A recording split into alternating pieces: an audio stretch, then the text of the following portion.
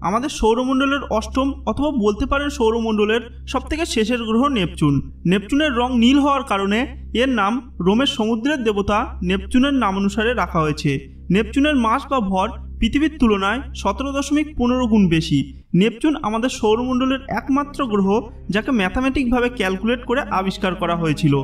কারণ পৃথিবী থেকে নেপচুনের দূরত্ব এতটাই বেশি যে টেলিস্কোপের সাহায্যে নেপচুনকে সঠিকভাবে দেখা অসম্ভব হয়ে পড়েছিল।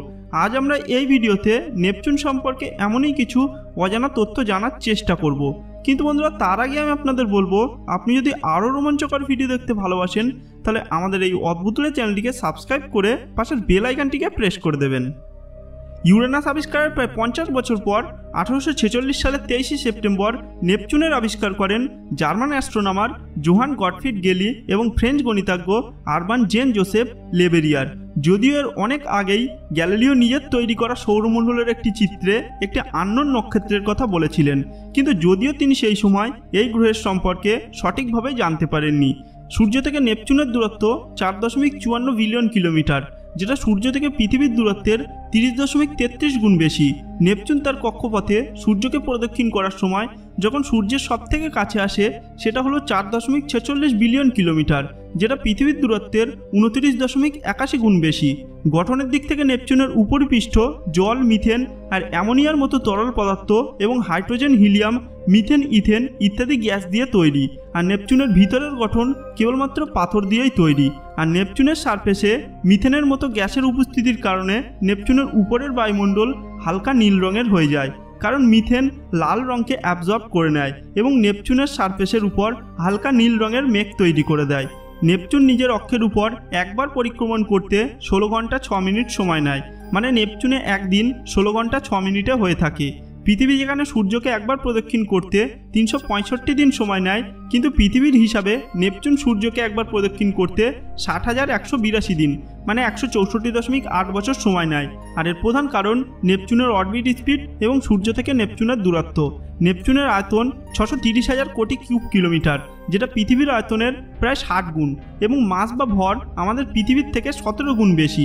নেপচুনের গ্র্যাভিটি বা মাধ্যাকর্ষণ শক্তি সৌরমণ্ডলে বৃহস্পতির পর সব থেকে বেশি। নেপচুনের মাধ্যাকর্ষণ পৃথিবীর মাধ্যাকর্ষণের একশো দশ পার্সেন্ট মানে পৃথিবীতে কোনো বস্তুর ওজন যদি একশো কিলো হয়, তাহলে ওই বস্তুর ওজন নেপচুনে একশো দশ কিলো হয়ে যাবে। উনিশশো উননব্বই সালে নেপচুনের সারফেসে পাওয়া সবথেকে বড় ঝড়, দ্য গ্রেট ডার্ক স্পট। যেটা উনিশশো উননব্বই থেকে উনিশশো চুরানব্বই মানে একটানা পাঁচ বছর ধরে চলেছিল। এই ডার্ক স্পট এতটাই বড় ছিল যে এর মধ্যে একটা গোটা পৃথিবী চলে যেতে পারত।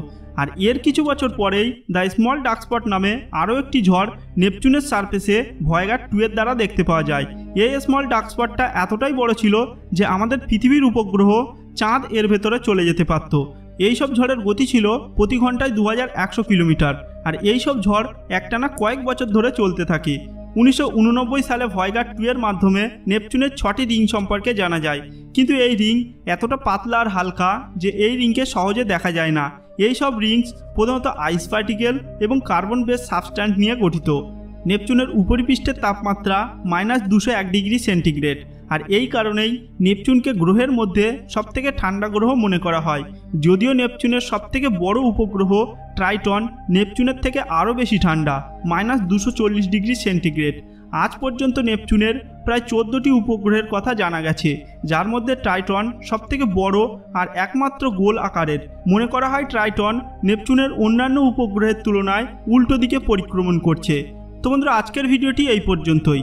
নেপচুন সম্পর্কে এই তথ্যগুলি আপনার কেমন লাগল? আর নেপচুন সম্পর্কে যদি আপনার কাছে আরও কিছু তথ্য থাকে, তাহলে কমেন্ট বক্সে অবশ্যই কমেন্ট করে জানাবেন।